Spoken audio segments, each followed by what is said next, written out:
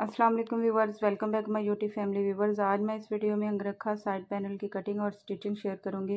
Viewers, जो मेरी sister beginners हैं, उनके लिए बहुत ही मैंने आसान तरीका यूज़ किया है। इस तरीके के साथ आप कटिंग करेंगे तो बहुत ही आसानी के साथ आप सीख सकेंगे। तो मेरी वीडियो को एंड तक देखें ताकि आपको हर चीज़ की समझ आ जाए, कोई भी चीज़ मिस ना हो। तो आइए व्यूवर्स कटिंग स्टार्ट करते हैं। कटिंग करने के लिए मैंने किनारी वाली साइड से लंबाई की लंबाई ली है कपड़े की और मैंने चौड़ाई जो ली है उसकी ये जो बैक साइड है इसकी मैंने चौड़ाई फोर्टीन इंच ली है और कपड़े की जो मैंने लेंथ ली है वो थर्टी इंच ली है। थर्टी इंच मैंने कपड़े की लंबाई ली है आप अपने हिसाब से रख सकते हैं। मैंने सात से आठ साल की बच्ची का अंगरखा बनाना है तो इसलिए मैंने कम ही इसकी, उसके हिसाब से, हाइट के हिसाब से मैंने लंबाई ली है। और जो फ्रंट साइड से उसकी मैंने सेवन इंच एक्स्ट्रा चौड़ाई ली है।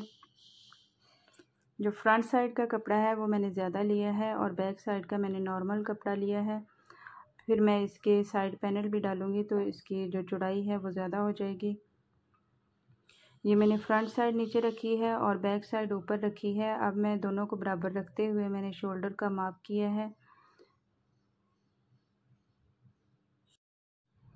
अब मैं बैक साइड का जो गला है उसकी मार्किंग करूँगी।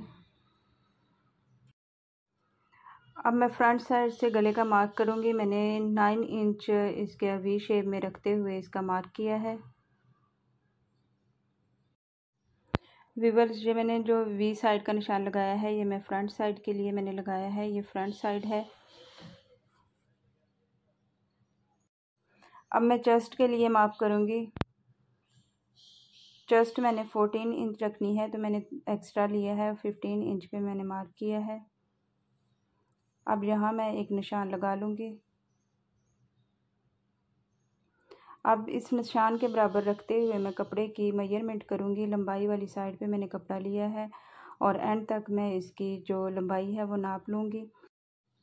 विवर्स इसके मैं पैनल बनाऊँगी। ये मैंने साइड पैनल के लिए कपड़ा लिया है। अब मैंने जो पैनल लिए है, ये मैंने इसकी आठ इंच मैंने चौड़ाई ली है। आप अपने हिसाब से पैनल की लंबाई चौड़ाई जो है वो कम या ज़्यादा भी कर सकते हैं। व्यूवर्स, अगर आपकी फ़्रॉक बड़ी है तो आप साइड पैनल की चौड़ाई ज़्यादा ले सकती हैं। मैं सात से आठ साल की बच्ची का फ़्रॉक तैयार कर रही हूँ तो इसलिए मैंने चौड़ाई इसकी नॉर्मल ही रखी है।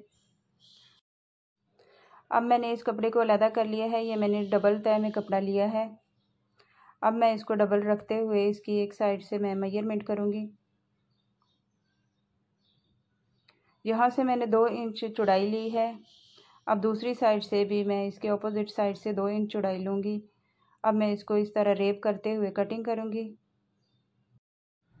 वीवर्स कटिंग करने के बाद इसकी चार कलियाँ तैयार हो गई हैं। अब मैं इसको शोल्डर के जो चेस्ट के बराबर रखते हुए इसकी अब मैं शोल्डर की कटिंग करूँगी। ऊपर से कटिंग करते हुए मैंने इसकी जो फिटिंग वाली कटिंग है, वहाँ से भी मैंने इसकी कटिंग कर ली है। अब नीचे से जो एक्स्ट्रा कपड़ा है, यहाँ से मैं गुलाई की शेप देते हुए इसकी कटिंग करूँगी।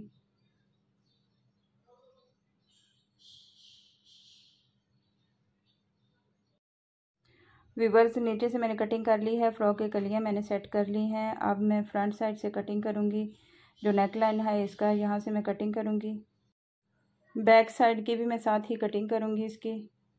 कटिंग मैंने तैयार कर ली है व्यूवर्स अब मैंने इसके लिए जो मैंने, मेरे पास ट्राउज़र का कपड़ा था, उसकी मैंने एक इंच मैंने चौड़ाई में चेपी बुकरम को लिया है। इसको मैंने कपड़े पे लगाकर इस तरह एक पट्टी तैयार कर ली थी।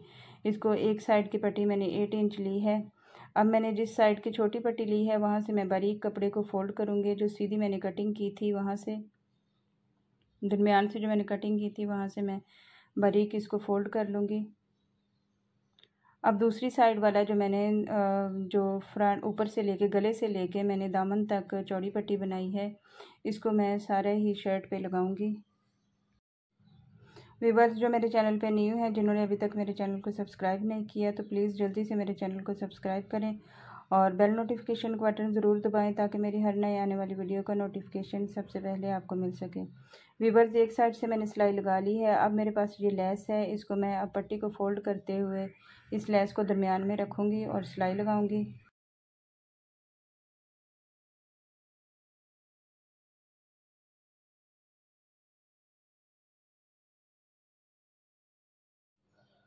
विवर्स ये जो मैंने लेस है, ये एंड तक मैंने लगाई है। अब मैंने जो गले की दोनों साइड है, इसको बराबर रखते हुए मैंने मार्क किया है। जितना मैंने गला, गले की लंबाई रखनी है, उसी हिसाब से मैंने मार्क कर लिया है। अब यहाँ से भी मार्क करूँगी, बराबर रखते हुए मैं इसके मार्क करूँगी, फिर मैं इसकी सिलाई लगाऊँगी।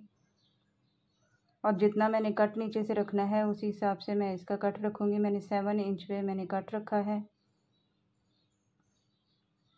यहाँ से मैं कट का निशान लगाऊँगी, यहाँ तक ही मैं इस पट्टी को ज्वाइंट करूँगी। अब यहाँ से मैं सिलाई लगाना स्टार्ट करूँगी।